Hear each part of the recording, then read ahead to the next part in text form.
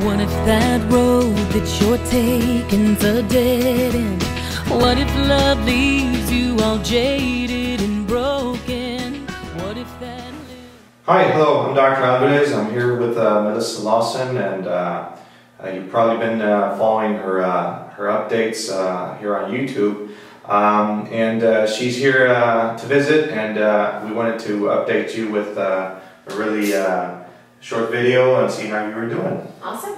Good. So, uh, how far out uh, from the surgery? Just over 10 weeks. 10 out. weeks out surgery. How has it been uh, these 10 weeks? It's been great. It's a process for sure and a journey. Um, I've lost 40 pounds, and um, there have been some plateaus in there that we've had to deal with, and which ultimately it's just kind of it's more of a mental battle than Yes, of course, else, you because know. you think it's gonna stay at that point or something, but it, actually those plateaus are actually good. They're actually needed for your body to adjust to your new weight, and then it'll continue with uh, losing Yeah. And still, I mean, I've lost about almost three dress sizes. Mhm. So, and and maybe four, depending. I probably shouldn't have been wearing the ones I was wearing to start with. Like, Uh-huh. Yeah. should have been up a size.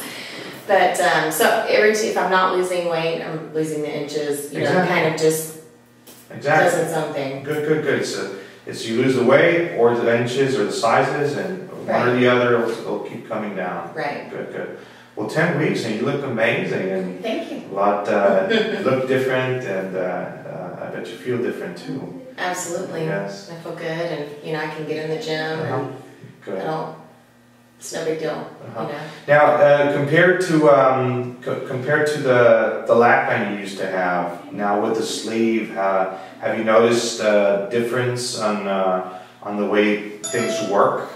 Oh yeah, definitely. The with the band, there were so many foods that I couldn't even consider eating because if I would try to eat it, it would not go down. It just it was not going to go through that hole, and so unfortunately, it come back up. Um, kind of the nasty part of the band, and that's that's only one of the many issues that I had. But if I'm comparing it to the sleeve, the food is really the main thing because now, you know, ten weeks out, I can eat any anything I want. I find there are foods that I really don't want anymore that I had, like I was love pasta. I just really don't want pasta, you know. Um, I um, so it just dealing with the differences in, in food, but I can have whatever. I mean, I've tried probably almost anything, and it's so far gone down just fine, and it's just a very small amount. Yes. Well, that's that's good to hear. I mean, you're eating practically anything you want, ten weeks out. Mm-hmm. Um, you did have to go, of course, to a liquid diet phase to the, the s- Right. sleeve and everything healed nicely the way we left it in the OR. Uh, but after this, and once it's healed, um, practically it's uh, just downhill from there. Just uh, start trying out food, start with some soft food, and uh, progress from there on. Um, uh, do you um, do you uh, have any other issues, other uh, like with the band, or you have any reflux, any? Uh, any No, I mean I had a little bit of um, acid reflux just the first few weeks, Uh-huh, really. uh-huh. Um, by the time the medication was out that you had sent home with me, um, I went and got some Zegerid. I took that for Mm-hmm. maybe another week, and I've only had maybe two days, and that was really from what I ate. Mhm. More, you know, didn't have anything really to do. I think with the sleeve more than just that I ate something very acidic.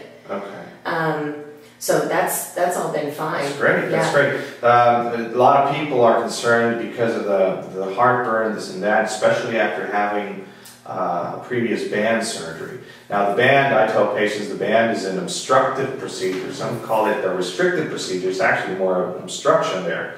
That'll give you some uh, heart trouble down the road. Now, this is uh, works totally different. You don't have an obstruction. You're just uh, filling up your tiny new stomach, Right. and it gives you a better quality of life. Yeah. Yeah.